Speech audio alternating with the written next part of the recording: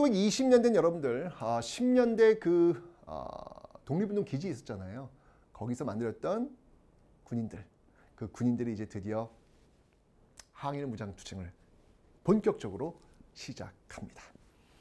자, 그 첫 번째 총성이 어디서 전개됐냐면 네, 바로 이 봉오동에서 시작이 됩니다. 자, 이 봉오동이 어떤 곳이냐면 저쪽 두만강, 두만강을 건넌 요쪽, 예, 요쪽에서 시작이 된 거예요. 이게 이제 1번이 되는 겁니다. 1번. 이게 바로 봉오동 전투가 되는 건데 이 봉오동 전투를 이끌었던 인물이 누구였냐면요. 바로 홍범도 장군이에요. 에이, 홍범도 장군은 하얀색을 쓰면 안 되지. 이거는 이번에 대한 예의가 아니지. 네, 홍범도 장군입니다.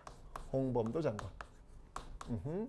홍범도 장군인데 어, 이 홍범도가 이끌었던 그 부대가 어떤 부대였냐면 대한독립군. 여러분들 북간도 지역에서 대한독립군 기억나시죠? 예, 대한독립군. 어, 과 대한 독립군만 있었던 건 아니고 연합군이 있어요. 예, 알파. 이렇게 같이 싸웠던 그런 모습들이 있습니다. 이게 보호동 전투입니다. 여기서 승리를 거뒀습니다. 자, 그러자 일본이 이 지역의 독립군들 안 되겠다, 몰아내야 되겠다는 판에 든 거예요. 그래서 대규모 군대를 동원하려고 했는데 중요한 건 뭐냐면 이 지역은 일본 땅이 아니란 말이에요. 그러니까 대규모 군대를 동원할 수 있는 명분이 없는 거라 그 명분을 만들어요. 그 명분이 뭐냐면 마치 여러분들 음, 이모군란 벌어졌을 때 아, 일본 공사관이 공격받았다는 이유로 재물포 조약을 통해서 일본군을 데리고 들어옵니다. 똑같은 케이스예요. 뭔가 명분을 만든 거예요. 뭐냐면 바로 여기 2번 여기에 2번 이 훈춘이라는 곳이 있는데 이 훈춘 사건을 조작을 합니다. 훈춘 사건 조작. 음흠. 이게 뭐냐면 여기에 이 지역에 마적단을 매수를 해요. 마적단을 매수를 해가지고 그들이 일본 공사관을 공격하게 만드는 거야. 일본 영상을 공격해가지고 그 과정에서 일본인까지 죽기까지. 야. 우리 일본 영사관 죽었어. 우리 일본 영사관 왜 못 지켜? 라고 하면서 일본 대규모 군대를 끌고 이리로 넘어가 버린 것이죠. 자, 이제 전면전이 벌어질 판입니다. 자, 그래서 이 독립군들이 속속속 하나로 뭉치게 됩니다. 그러면서 어디로 뭉치냐면요. 바로 이 백두산 근처. 네, 이 백두산 근처로 예, 모이게 되죠. 자, 이게 바로 3번입니다. 3번. 자, 이동 경로 한번 볼게요. 우리 독립군들의 이동 경로 이렇게. 으허. 자, 이 3번 이 지역 백두산 근처에서 전개된 전투를 우리는 바로 청산리 전투다라고 이야기합니다. 이 청산리 전투를 이끌었던 대표적인 인물이 있다면 김좌진 장군입니다. 김좌진 장군. 그리고 주력 부대를 한번 꼽아봐라 한다면 역시 마찬가지 북한도에서 우리 배웠습니다. 바로 북로 군정서군. 북로 군정서군. 음흠. 역시 이것도 플러스 알파예요. 자, 이 알파에는 아까 제가 이 홍범도에 대한 독립군이 있다라고 설명을 드렸잖아요. 그죠? 요, 요, 요 알파까지. 이 부대도 역시 마찬가지로 여기에 합류를 하고 있습니다. 여기에 지금 합류를 하고 있더라. 음흠. 이렇게 이 알파에 합류하고 있는 모습들 같이 오고 있고요. 어, 특히 알파 중에서 여러분들 알파 중에서 이 종교 조직도 있어요. 종교 조직. 아, 그 대표적인 조직이 있다면 의민단이라는 조직이 있습니다. 의민단, 의민단이라는 조직이 있는데 이 의민단은 여러분들 이 천주교, 어허, 천주교에서 조직했던 예, 항일 무장투쟁 조직인데 여기에 또 어, 참여하는 예, 그런 모습들도 있습니다. 자, 이게 이제 청산리 전투의 어떤 그런 모습들 여러분들 기억을 좀 해놓으시면 되겠는데 이 청산리는 여러분들 또 한 지역만 있는 게 아니에요. 그 전체 일대. 예를 들면은 백운평, 백운평, 그다음에 어랑촌, 청산리 일대. 음, 굉장히 많은 동네들이 있는데 이 지역을 며칠 동안 계속 싸워나가는 모습이에요. 여러분들 이 게릴라전이거든요. 우리는 뭐 무기도 열악하고 인원도 적고 그렇잖아요. 여기서 이길 수 있는 방법은 게릴라입니다. 치고 빠지고 그 지형을 통해 가지고 확실히 승리하는 방법. 어, 실제로 여러분 청산리 전투에서는요. 놀란 게 뭐냐면 이 일본군이 협공을 해요. 산 위, 위와 위하고 아래에서 협공을 한단 말이에요. 협공을 하도록 만들어 놓고 중간에서 빠져요. 그리고 엄청난 안개 낀 그 속에서 일본 군끼리 싸우게 만들어요. 대박이죠. 그러니까 일본군이 얼마나 강력해. 그 강력한 부대끼리 붙은 거야. 그러니까 얼마나 큰 피해가 나겠어. 대승을 거둡니다. 이게 바로 청산리 전투였다. 자 이렇게 되니까 일제가 이 지역, 이 지역을 쓸어버립니다. 음흠, 쓸어버린 사건. 너무 가슴 아픈 사건인데 이게 바로 간도 참변이라는 거예요. 이게 바로 간도, 이 간도 지역을 쓸어버려요. 정말 다 불태웁니다. 이 과정 속에서 여러분들 그 앞에 있었던 명동학교, 어, 명동학교 불타게 되고 이제 그런 거예요. 싹 쓸어버려요. 다 불태. 마을이면 뭐 다 그냥 불태버리는 어떤 그런 모습들이 지금 벌어지고 있더라. 그러니까 이 지역에서 활동하기 좀 어려웠던 거예요. 그래서 이동을 합니다. 독립군들이 어디로 이동하냐면 저쪽 위쪽에 있는 예, 밀산부 한흥동, 예, 한흥동으로 예, 이동을 하고 있습니다. 자, 이게 이제 5번이 됩니다. 5번. 그래서 이동. 자, 이렇게 이동합니다. 자, 밀산부 한흥동에서 이제 정비를 해요. 그 정비를 해서 만든 부대가 바로 대한 독립군단이라는 겁니다. 대한 독립군단. 이 대한 독립군단 여러분들 서일을 중심으로 해서 서일을 중심으로 해서 뭐 김좌진도 있었고요. 홍범도도 있었고요. 다 예, 역시 마찬가지로 플러스 알파의 어떤 그런 모습들을 지금 갖고 있죠. 이 정비했던 대한 독립군단이 이제 이동을 해요. 어디로 이동하냐면 저쪽 러시아령으로 이동합니다. 아이고 이게 이제 6번입니다. 자 이렇게 이동하는 거죠. 이렇게 또 화살표가 또 이제 이어지고 있습니다. 6번. 자, 그런데 여기서 어떤 일이 벌어지냐면 이 러시아 쪽으로 들어올 때 조건을 제시하는 거예요. 뭘 제시했냐면 무장해제라는.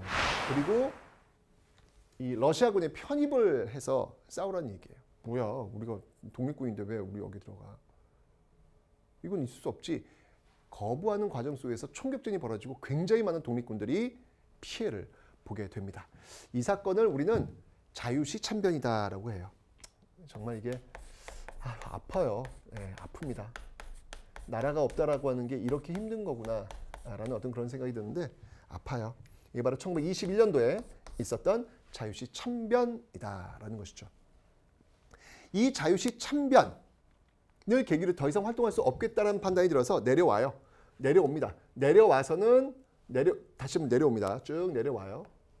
쭉 내려와서 내려와서 네, 이제 3부를 결성합니다.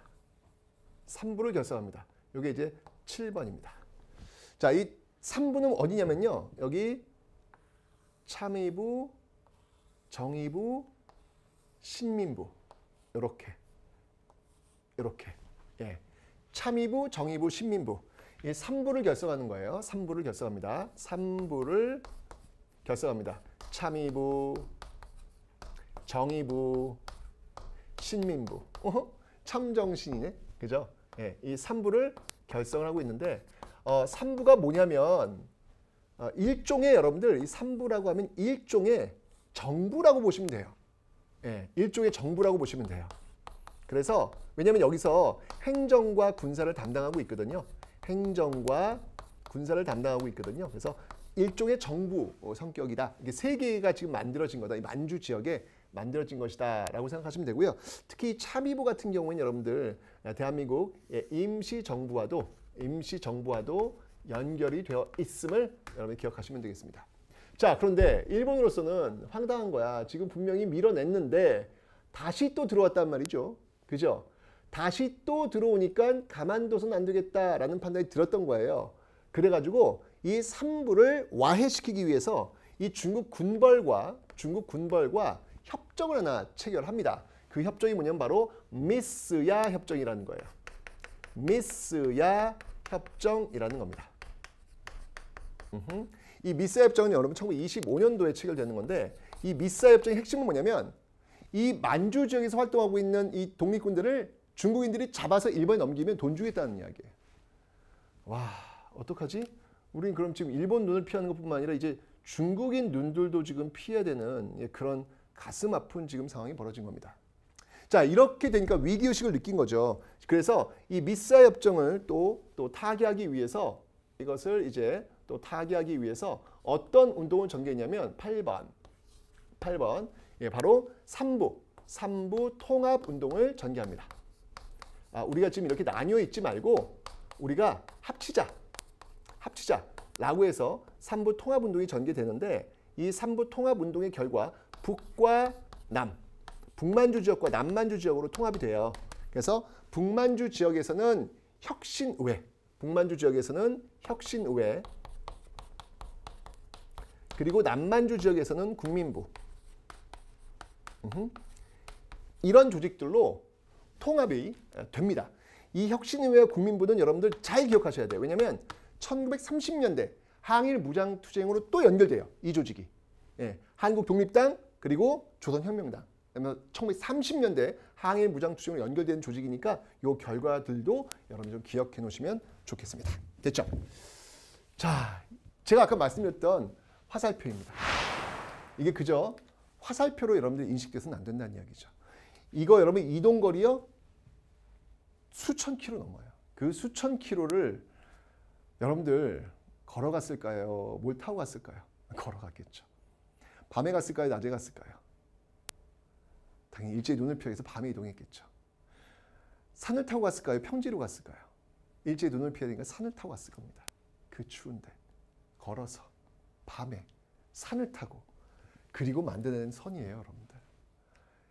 이 사람들이 이렇게 많은 선을 이동하면서 가졌던 꿈은 딱 하나였습니다.